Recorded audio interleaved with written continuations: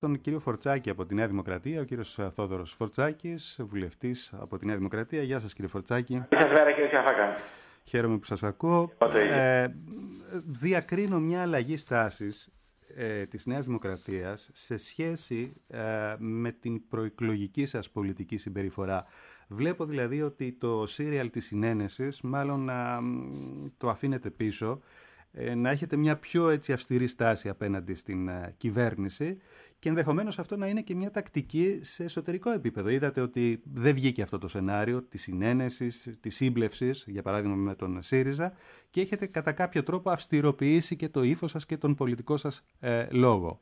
Ε, έχουν έτσι τα πράγματα. Θα κινηθείτε προς αυτή την κατεύθυνση και σήμερα; Κύριε Σαφάκα, η Νέα Δημοκρατία διαμορφώνει τις αντιλήψεις της και παίρνει τις αποφάσεις της, όχι με γνώμονα τον αντίκτυπο που έχουν στην κοινή γνώμη, αλλά με γνώμονα αυτό που θεωρεί ότι είναι η εξυπηρέτηση του εθνικού μας συμφέροντος.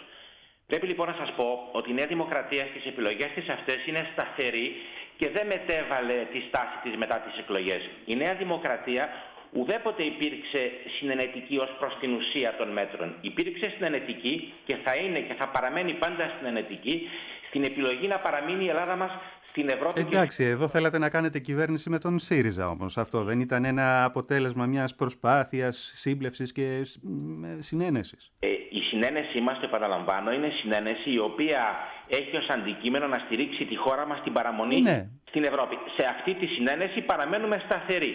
Εάν αύριο μας έλεγε ο ΣΥΡΙΖΑ ότι θέλει να κάνει μια κυβέρνηση εθνικής ενότητας, η Νέα Δημοκρατία πιστεύω ότι θα ανταποκρινόταν θετικά. Δεν έχουμε λοιπόν μεταβάλει Μπα, με το Λεβέντι βλέπω φλερτ, ε, κύριε Φορτσάκη. Καθαρή. Είμαστε στο ότι το περιεχόμενο των μέτρων δεν το δεχόμαστε, ούτε το ε, αποδεχόμαστε και δεν το στηρίζουμε παρά μόνο εάν θεωρούμε ότι το συγκεκριμένο μέτρο είναι ένα μέτρο που εξυπηρετεί τη χώρα μας. Γι' αυτό θα διαμορφώσουμε τη θέση μας για το κάθε συγκεκριμένο μέτρο ε, συζητώντας το κάθε συγκεκριμένο μέτρο χωριστά. Πάντως, δεν είναι λίγο σχήμα οξύμορο να λέτε ότι ψηφίσαμε το μνημόνιο, τη συμφωνία για να σωθεί η χώρα, αλλά από εκεί και ύστερα θα δούμε κριτικά το κάθε θέμα, το κάθε μέτρο και θα δούμε με το δικό μας πλέον βλέμμα τι μπορούμε να κάνουμε γι' αυτό; Όχι, διότι όταν η κυβέρνηση ε, Τσίπρα ε, Καμένου συζήτησε το μνημόνιο και συμφώνησε το περιεχόμενό του, δεν κάλεσε και τα κόμματα της αντιπολιτεύσεως να συμμετάσχουν σε αυτή τη διαδικασία, τα άφησε έξω από τη διαδικασία αυτή και τα κόμματα τα υπόλοιπα δεν μπόρεσαν να έχουν ούτε καν γνώση και ούτε βεβαίως καμία συμμετοχή στη λήψη της απόφασης. Επομένως, η απόφαση αυτή ως προς την ουσία της, ως προς το περιεχόμενό της δηλαδή, βαρύνει αποκλειστικά την κυβέρνηση ΣΥΡΙΖΑ ΑΝΕΛ, η οποία σήμερα θα κληθεί να σηκώσει και το αντίστοιχο βάρος. Αυτό λοιπόν είναι κάτι το οποίο εμείς δεν μπορούμε να το αλλάξουμε. Εμείς δεν θα είχαμε καταλήξει σε τέτοιου είδους συμφωνία. Εμείς είχαμε παρουσιάσει μια διαφορετική συμφωνία. Ο ελληνικός λαός όμως επέλεξε όχι το δικό μας σχέδιο, έκρινε, ψήφισε και επέλεξε και μάλιστα δύο φορές το σχέδιο του ΣΥΡΙΖΑ. Αυτό το σχέδιο του ΣΥΡΙΖΑ λοιπόν, τον ΣΥΡΙΖΑ ΑΝΕΛ, θα το εφαρμόσουν οι ΣΥΡΙΖΑ ΑΝΕΛ όπως νομίζουν. Είναι δημοκρατικό και σωστό να κάνουν αυτό το οποίο θεωρούν, θεωρούν ορθό για τη χώρα και η αντιπολίτευση θα επιτελέσει το δικό της το ρόλο, ο οποίος είναι να ασκεί κριτική και να είναι όμως η κριτική αυτή πάντοτε επικοδομητική για τη χώρα. Αυτό λοιπόν το ρόλο η Νέα Δημοκρατία θα τον διαδραματίσει. Αυτή τη στιγμή η χώρα δεν βρίσκεται πλέον σε ένα σημείο όπου θα πρέπει να φύγει αύριο το πρωί από την Ευρώπη αν δεν δεχτούμε τα πάντα. Είναι λοιπόν η ώρα τώρα το περιεχόμενο των μέτρων να το συζητήσουμε περισσότερο και να το αναλύσουμε. Αυτή είναι η θέση της Δημοκρατίας. Να σας δώσω ένα παράδειγμα.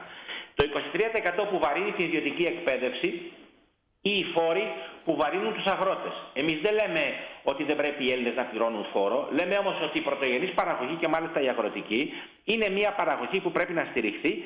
Θα έπρεπε λοιπόν να έχουμε βρει μέτρα διαφορετικά αντί να πλήξουμε τους αγρότες. Το ίδιο λέμε και για την παιδεία. Αυτό δεν σημαίνει ότι δεν στηρίζουμε την επιλογή της κυβέρνησης ΣΥΡΙΖΑ-ΑΝΕΛ να παραμείνουμε στην Ευρώπη. Καλά κάνανε και χαιρόμαστε που, κάνανε αυτή την, που είχαν αυτή τη μεταβολή στάσης και τους συγχαίρουμε πράγματι διότι έστω και την τελευταία στιγμή κατάλαβαν ότι έπρεπε να μεταβάλουν τη στάση τους.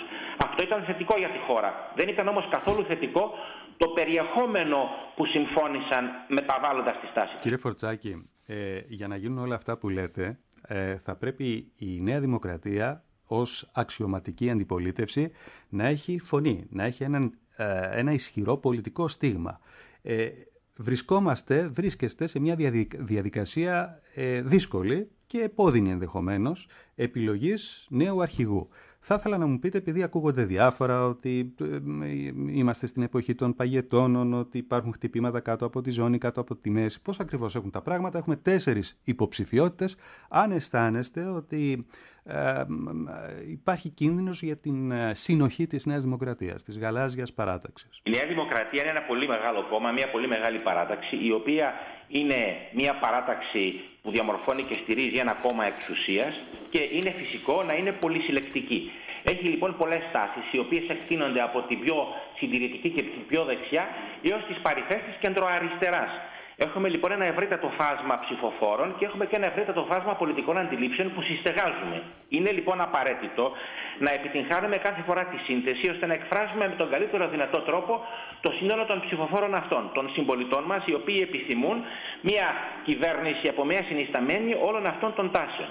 Είναι φυσικό την ώρα που τίθεται ένα θέμα ηγεσίας να έχουμε ανταγωνισμό μεταξύ των υποψηφίων. Αυτό είναι υγιές. Και είναι προς το συμφέρον της πολιτείας και του κράτους να έχουμε μια αντιπολίτευση δημοκρατικά οργανωμένη, η οποία να επιλέγει ελεύθερα τον αρχηγό της και να μπορεί να επιτελεί το συνταγματικό και πολιτιακό ρόλο της. Είναι λοιπόν πραγματικά ευχάριστο το ότι έχουμε τέσσερις υποψηφίους και είναι ευχάριστο ότι αυτοί οι υποψήφοι τις επόμενες ημέρες θα εκθέσουν το πρόγραμμά τους, το σχέδιό τους για την ανασυγκρότηση και για την ανανέωση της Νέας Δημοκρατίας και οι ψηφοφόροι της Νέας Δημοκρατίας θα κληθούν ελεύθερα να επιλέξουν αυτόν τον οποίο θεωρούν καλύτερο. Από εκεί και πέρα είναι υποχρέωση όλων των υπολείπων, καθώς και είναι υποχρέωση όλων συνολικά των υποψηφίων κατά τη διάρκεια της προεκλογικής περίοδου, να προτάσουν πάντοτε την διατήρηση της ομοψυχίας του κόμματος και τη διατήρηση της ενότητάς τους, διότι το ζητούμενο είναι ανανέωση μεν, αλλά μέσα στην ομοψυχία και στην ενότητα. Σε αυτό εμείς όλοι οι υπόλοιποι που δεν είμαστε υποψήφοι, αλλά είμαστε βεβαίως η συντριπτική πλειοψηφία του κόμματος και της παράταξης, θα είμαστε άτεγκτοι. Απαιτούμε από τους υποψηφίους να σέβονται και να τηρούν την ομοψυχία και την ενότητα του κόμματος. Και από εκεί και πέρα όποιος χάσει στις εκλογές θα έρθει, θα μείνει στο κόμμα και θα υπηρετήσει το κόμμα υπό την ηγεσία εκείνου που όλοι μας θα έχουμε επιλέξει. Τα είπατε όλα, αλλά Θέλω να ρωτήσω και κάτι άλλο. Έχετε καταλήξει εσείς την επιλογή σας; Εγώ προσωπικά δεν έχω καταλήξει ακόμα, διότι θα ήθελα πριν καταλήξω. Να ακούσετε. Να ακούσω, ναι, κοιτάξτε, είναι, πρέπει κανείς να ακούσει. Και για τους τέσσερις υποψηφίους έχω συμπάθεια ως πρόσωπα και οι τέσσερις έχουν ε, ένα, ο καθένας διαφορετικό ε, διατελέσει σε σημαντικές θέσεις της Νέας Δημοκρατίας. Άλλος νεότερος, άλλος μεγαλύτερος, άλλος περισσότερο και άλλος λιγότερο. Αλλά είναι και οι τέσσερις αξιόλογοι και περιμένω να ακούσω αναλυτικά τη θέση του καθενός και βεβαίως και εγώ, όπως όλοι οι ψηφοφόροι της Νέας Δημοκρατίας θα κάνω την επιλογή μου. Είπατε κάτι σημαντικό. Περιμένω να ακούσω. Θέλω να ρωτήσω, γιατί διάβασα και ένα σχετικό ρεπορτάζ, νομίζω το Σάββατο στα Νέα. Γιατί δεν σας ακούνε οι άνεργοι, γιατί δεν σας ακούνε οι γυναίκες, γιατί δεν σας ακούνε οι νέοι; Ένα από τα μεγάλα ζητούμενα φαντάζομαι και σε αυτή την ε, προεκλογική κούρσα για τον νέο αρχηγό θα είναι αυτά τα θέματα. Πώς θα μας ακούσουν οι άνεργοι, πώς θα μας ακούσουν οι νέοι, πώς θα μας ακούσουν οι γυναίκες που έχουν γυρίσει την πλάτη. Είδατε και μια αποχή. Λέγαμε όλοι για την αποχή στον ΣΥΡΙΖΑ, τελικά εσείς είχατε μεγαλύτερη αποχή. Είναι η Νέα Δημοκρατία, είναι αλήθεια ότι ε, είχε σημειώσει τον τελευταίο καιρό μία τάση εσωστρέφειας και αυτό οφείλεται κυρίως στο ότι η Νέα Δημοκρατία επομίστηκε το κόστος της λήψης πολύ δύσκολων μέτρων, τα οποία τη στήχησαν πάρα πολύ από άποψη, αν θέλετε, από ε, δεν αλλάζει όμως αυτό. Και τα οποία την οδήγησαν για μία περίοδο σε μία φάση ύφεσης. Νομίζω ότι αυτή η φάση έχει ολοκληρωθεί και ότι η Νέα Δημοκρατία είναι έτοιμη να αντικατοπτρίσει και πάλι τις επιλογές του μεγάλου αυτού αριθμού συμπολιτών Πώς; που τοποθετούνται σε αυτό το τόξο που περιέγραψα προηγουμένως. Πώς, κύριε Φορτσάκη, όμως, αυτό δεν διατάσσεται. Έλα να μ' ακούσεις. Θα πρέπει, θα πρέπει και το κόμμα σας και ο πολιτικός σας λόγος να γίνει ελκυστικός. Θελκτικός. Να, να σας πω, η Νέα Δημοκρατία πρέπει να μεταβληθεί και να μεταστραφεί προς την οργάνωση ενός κόμματος το οποίο να έχει ως πρότυπο τα μεγάλα κεντροδεξιά κόμματα της Ευρώπης. Δηλαδή ένα ευρωπαϊκό κόμμα με δομές πρέπει να φύγει από την κατάσταση στην οποία βρίσκεται τώρα λόγω της ιστορικής διαδρομής της. Η Νέα Δημοκρατία έχει διαδικασίες που της επιτρέπουν να το πετύχει. Έχει ένα πολιτικό προσωπικό το οποίο σε μεγάλο βαθμό είναι προσωπικό νέων ανθρώπων.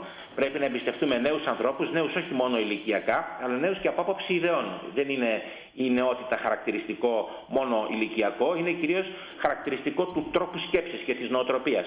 Πιστεύω λοιπόν ότι πρέπει να ανοίξουμε τα παράθυρα, να ανανεώσουμε τις γραμμές μας και να μιλήσουμε και στους ανθρώπους εκείνους οι οποίοι ήταν δικοί μας, δικοί μας με την έννοια ότι μας στήριζαν, οι οποίοι για διάφορους λόγους έχουν απομακρυνθεί. Οι κατηγορίες που περιγράψατε είναι τρεις κατηγορίες, δεν είναι οι μοναδικές.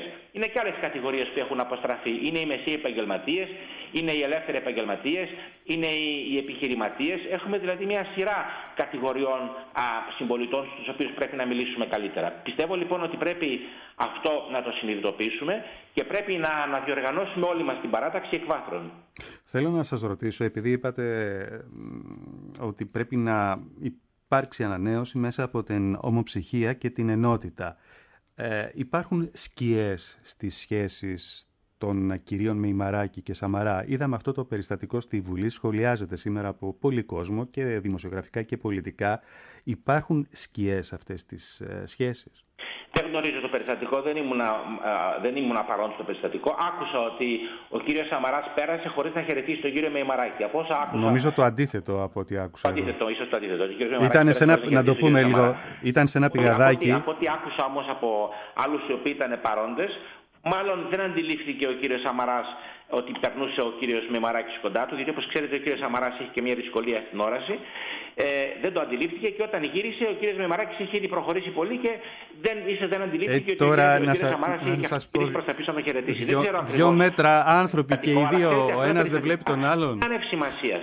Δηλαδή τώρα το αν είναι, δεν είναι δυσαρεστημένος ένας πολιτικός αρχηγός με έναν άλλον ή αν για μια στιγμή μπορεί να θυμώσει ένας με κάποιον άλλον, αυτά είναι όχι τριτεβούσεις, ούτε καν 14ης κατηγορίας σημασίας ζητήματα. Δεν με απασχολούν, ούτε θα πρέπει να απασχολούν κανένα. Δεν με απασχολεί τι κάνουν στις διαπροσωπικές τους σχέσεις η πολιτική μας. Αν είναι, αν είναι προσωπικό... Την ανάπτυξη των πολιτικών τους θέσεων. Σωστό. Έχω μια μικρή ένσταση ότι είναι τριτεβούσεις, αλλά ε, ε, στο προσωπικό επίπεδο έχετε δίκιο. Δηλαδή μπορεί ο ένας να γυρνάει την πλάτη στον άλλον. Αν και πιστεύω ότι και στην πολιτική οι προσωπικές σχέσεις έχουν την αξία τους. Πιστεύω και στην πολιτική. Δεν είναι μόνο δηλαδή ότι έχουμε πέντε άξονες, τους εφαρμόζουμε. Παίζει ρόλο και το προσωπικό στοιχείο. αλλά, αλλά από την άλλη. Από την άλλη τεράστια σημασία ναι, ένα περιστατικό το οποίο μπορεί να είναι και στιγμιαίο. Συμφωνούμε. Αλλά αν υπάρχουν δύο γραμμές οι οποίες κινούνται ε, σε αντίθετη κατεύθυνση και η μία γραμμή υπονομεύει την άλλη, είναι ένα θέμα. Εγώ ρωτάω, εγώ ρωτάω. Και είναι πολιτικό το ζήτημα αυτό, έτσι, δεν είναι προσωπικό. Βίαιμο κάτι τέτοιο, δεν έχουμε δύο γραμμές χωριστές. Μπορεί να έχουμε προτιμήσεις προς διαφορετικούς υποψηφίους, αλλά δεν έχουμε δύο χωριστές γραμμές. Γιατί οι γραμμές όλων των υποψηφίων είναι ενταγμένες στο ενίο πλαίσιο της Νέας Δημοκρατίας. Δεν νομίζω ότι εάν παραδείγματος χάρη να επιλέξουμε τον κύριο Μεϊμαράκη και όχι τον κύριο Τιζικώστα ή αντιστρόφως τον κύριο Τιζικώστα ή τον κύριο Μητσοτάκη ή τον κύριο Γεωργιάδη, ε, φεύγουμε από το πλαίσιο της Νέας Δημοκρατίας. Δεν νομίζω λοιπόν ότι πρέπει σε αυτό το σημείο να είμαστε υπερβολικοί. Η Νέα Δημοκρατία, το είπα και πριν, είναι πολύ συλλεκτική και έχει πολλές τάσεις. Μπορεί μία από αυτές προς στιγμή να επικρατήσει, άλλη στιγμή θα επικρατήσει άλλη τάση. Ξέρετε και στο παρελθόν είχαμε το ίδιο ζήτημα. Είχαμε, μία εποχή είχαμε τον Αίμινη στο Αβέροφ, μία εποχή είχαμε τον ε, πάντοτε παρόντα Κωνσταντίνο Μητσοτάκη. Το Μιλτιάδη Εύερτ. Είχαμε τον Βέβερ και είχαμε τον Κωνσταντίνο Καραμαλή, το, το νεότερο και ούτω καθεξής. Επομένως είχαμε προσωπικότητες σημαντικές, οι οποίες η κάθε μία με τον δικό της τρόπο έδινε και ένα συγκεκριμένο ιδεολογικό στίγμα, διαφορετικό η μία από την άλλη, αλλά πάντοτε μέσα σε ένα ίδιο ευρύτερο πλαίσιο. Γι' αυτό και όλοι αυτοί συνυπήρξαν και συνυπάρχουν. Γι' αυτό συνυπάρχουμε και εμείς. Εγώ προσωπικά τοποθετώ τον εαυτό μου στο κέντρο, στην κεντροδεξιά. Αλλά συνυπάρχω στο ίδιο κόμμα και σέβομαι απολύτως και συνεργάζομαι άριστα και με συναδέλφους οι οποίοι μπορεί να είναι συντηρητικότεροι. Δεν λοιπόν. έχω κανένα πρόβλημα σε αυτό. Διότι βρίσκουμε πάντοτε τη συνισταμένη και την κοινή γραμμή, η οποία εκφράζει. Κύριε Μην ξεχνάτε ότι η Νέα Δημοκρατία για πολλά χρόνια και πολλές φορές είχε φτάσει να εκπροσωπεί τους μισούς συμπολίτες μας. 48% είχε πάρει ο Κωνσταντίνος Μητσοτάκης στι εκλογές που δεν μπόρεσε να κάνει 48 κυβέρνηση. 48 είχε πάρει και το Πασόκ το 81. Τώρα άλλες εποχές. Άλλα κόμματα το είχαν κάνει. Λοιπόν. Είχαμε λοιπόν τότε και μάλιστα σε εποχή που ο κόσμος ψήφιζε, όχι σε εποχή που είχαμε συμμετοχή 54%. Είχαμε λοιπόν περιόδους όπου είχε ευρύτατη απήχηση λαϊκή η Νέα Δημοκρατία. Κύριε... Όπως πολύ σωστά το είπατε και άλλα κόμματα, το Πασόκ. Κύριε Φορτσάκη, να μείνουμε σε αυτά, να σας ευχαριστήσουμε για την επικοινωνία. Να είστε καλά. Σας ευχαριστώ πολύ. Εγώ θα ήθελα να κάνω ένα σχόλιο μόνο, επιτρέπετε μισού λεπτού. Είναι ανάγκη οι πολίτες μας να είναι πάντοτε ενεργοί. Ό,τι και να ψηφίζει κανείς, να μην μένει σπίτι του, να πηγαίνει στην κάλπη, διότι εκεί εκφράζουμε πραγματικά τη συμμετοχή μας στα κοινά. Και αν δεν του αρέσει κανένα κόμμα και κανένας υποψήφιος, να γίνει ο ίδιος υποψήφιος και να κατέβει στην πολιτική. Λοιπόν, το ακούσαμε. Να είστε καλά, κύριε Φορτσάκη. Γεια και χαρά.